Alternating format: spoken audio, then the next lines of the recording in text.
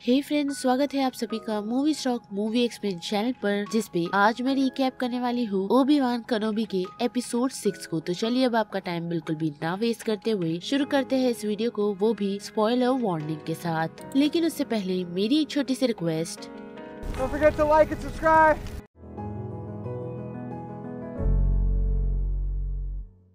Six episode की शुरुआत हमें रीवा को दिखाकर की जाती है, जो टटून प्लेनेट पर ओवन को ढूंढती हुई पहुँची है। साथ ही आउटर स्पेस में हम ये भी देख सकते हैं कि डार्क वेडार अभी भी ओबी वान की शिप के ही पीछे पड़ा हुआ है। साथ ही, उसी दौरान हम देख सकते हैं कि रोकन ओबी वान को ये बताता है कि जल्दी हम टेसन नाम के प्लेनेट पर पहुँच जाएँगे तो वहाँ पर तुम और लिया उतर जाना। लेकिन ओबी वान को ये पता चलता है कि रोकन झूठ बोल रहा है, जिस कारण से वो उससे बात करने के लिए जाता है तो उसे ये पता चलता है कि उन लोगों के पास इतना टाइम नहीं है कि वो लोग उस प्लेनेट तक पहुँच सके। और उसकी ये बात सुन ओबीवान जब सभी सर्वाइवल्स को देख रहा होता है तो लिया उसके पास आकर यही कहती है कि लोला ने सभी के माइंड को डिस्ट्रैक्ट रखा है। साथ ही हम देख सकते हैं कि ओवन को भी ये पता चला है कि रीवा ल्यूक को ढूंढते हुए उसी प्लेनेट पर आ पहुँची है। और फिर से आए शिप पर तो हम देख सकते हैं कि ओबीवान और लिया की आर्ग्यूमेंट चल रही है इसी कारण से, क्योंकि ओबीवान ने ये प्लान किया है कि वो डार्क वेडार का ध्यान भटकाने के लिए एस्केप क्राफ्ट लेकर उस शिप को छोड़ देगा, जिस कारण से लिया काफ़ी नाराज़ हो जाती है और हम देख सकते हैं कि उसकी ज़िम्मेदारी वो हाजा को देता है। साथ ही हम देख सकते हैं कि ओवन ने रीवा के बारे में अपनी वाइफ को बताया है, जिस कारण से उसने ये डिसाइड किया है कि वो लोग उन्हीं के घर में रहकर ल्यूक को प्रोटेक्ट करेंगे, क्योंकि वो नहीं चाहती कि वो लोग अपना घर छोड़कर इस सिचुएशन से कहीं और जाए। और फिर से आए, लिया की तरफ़ तो हम देख सकते हैं कि उन सारी चीज़ों से लिया काफ़ी नाराज़ है, लेकिन ओबीवान उसकी तरफ़ पहुंचकर उसे एक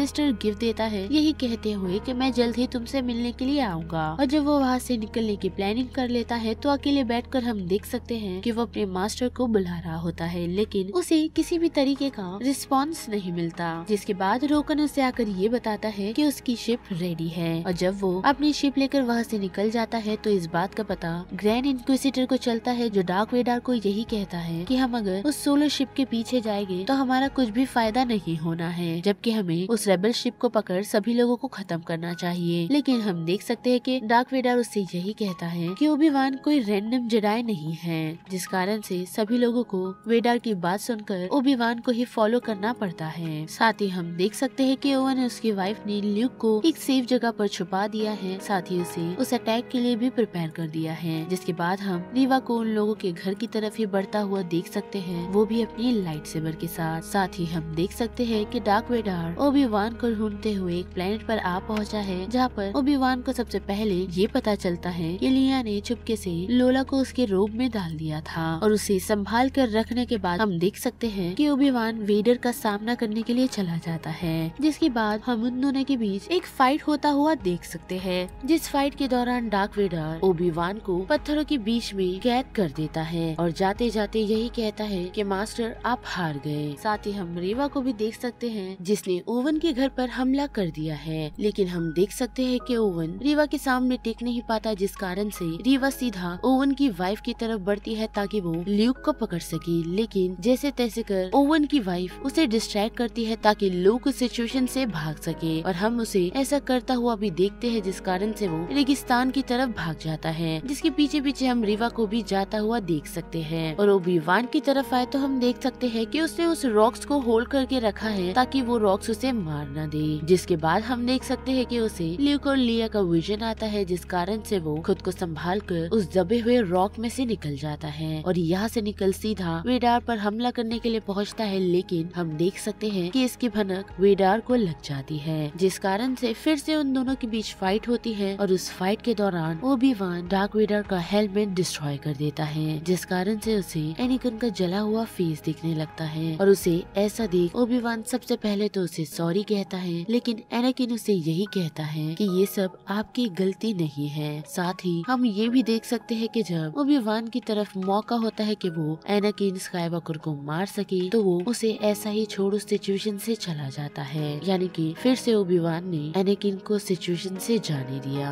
और फिर से आए रीवा की तरफ़ तो हम देख सकते हैं कि उसे ल्यूक मिल गया है, जो क्लिफ से गिरने के कारण बेहोश हो गया है। और उसी दौरान हम ओबी वान को देख सकते हैं, जो उस खतरे को महसूस कर सीधा अपनी शिप लेकर टटून प्लेनेट पर आ पहुँचता है। साथ ही बात करे फिर से रीवा की तो वो जब अपनी लाइट सेवर निकाल ल्यूक को मारने ही वाली होती है तो उसे उसमें अपना ही बचपन दिखने लगता है, जिस कारण से वो उसे नहीं मारती और सीधा ओवन की तरफ़ वापस ले आती है। और ओबीवान को यही कहती है कि वो ऐसा नहीं कर पाई। जिसकी वो बात सुन, वो उसे यही कहता है कि तुमने अपने यंगलिंग्स को काफ़ी प्राउड किया है। साथ ही हम ये भी देख सकते हैं कि रीवा अपनी लाइट सेवर निकाल के फेंक देती है। जिसके बाद हमें मुस्तफार प्लेनेट दिखाया जाता है, जहाँ पर हम वेडार को देख सकते हैं, जो पैल्पतीन से बात कर रहा होता है। और उसे यही बता रहा होता है कि उसने हर जगह सभी लोगों को ओबीवान को ढूँढने के लिए भेज दिया है। और अगर कोई भी उन लोगों के बीच में आया तो वो लोग उस चीज़ को खत्म कर देंगे। जिस बात को सुन पैल्पतीन उसे यही कहता है कि तुम्हारे इरादे हमें क्लियर नहीं लग रहे। यानी कि कहीं न कहीं अभी भी वेडार में ओबीवान के लिए एक सॉफ्ट साइड मौजूद है। लेकिन पैल्पतीन की वो बात को क्लियर करते हुए वो उसे यही कहता है कि विवान मेरा कुछ भी नहीं लगता और आप ही मेरी मास्टर हो। जिसके बाद ये सीन सीधा शिफ्ट होता है एल्डेरन प्लेनेट पर, जहाँ हम लिया को देख सकते हैं जो किसी से मिलने के लिए तैयार हो रही है। जिसके बाद हम देख सकते हैं कि उससे मिलने के लिए और कोई नहीं, बल्कि ओबी वान पहुँचा है, वो भी उसकी लोला के साथ। साथ ही वो लिया को उसके असली मोम डैड यानी कि एनाकिन और पैडमे के बारे में भी बताता है। और जाते जाते वो लिया को यही कहता है कि जब भी मेरी ज़रूरत होगी तो मुझे याद कर लेना। जिसके बाद ओबी वान वहाँ से निकल, सीधा टटून प्लेनेट पर आ पहुँचता है, जहाँ पर वो सबसे पहले अपनी केव को क्लीन कर और एक न्यू गेटअप के साथ वो ल्यूक का टॉय लेकर सीधा ओवन की तरफ़ बढ़ता है। जहाँ जाने पर ओवन उससे यही कहता है कि तुम हमेशा से ल्यूक के बारे में सही थे। साथ ही जब ओबीवान वहाँ से निकल रहा होता है तो ओवन उसे ल्यूक से मिलने के लिए बुलाता है, जहाँ पर हम देख सकते हैं कि ओबीवान उसे हेलो कहता है और उसका टॉय उसे देकर सीधा डेजर्ट की तरफ़ बढ़ जाता है और उस डेजर्ट की तरफ़ बढ़ने पर हम देख सकते हैं कि उसकी मुलाकात उसके मास्टर क्विन गॉन जीन से होती है, जो उसे यही कहते हैं, जो उसे यही कहते हैं कि आगे का सफ़र और लंबा है। और यहाँ पर Obi Wan Kenobi episode six का ये पूरा रिकैप खत्म होता है, जिस बारे में आप सभी की क्या राय बनती है उसे लेकर आप मुझे कमेंट सेक्शन में बता सकते हो। साथ ही अगर मेरी वॉइस आप लोगों को इस चैनल पर पसंद आ रही है तो वीडियो को लाइक शेयर और चैनल को सब्सक्राइब करना मत भूलिएगा।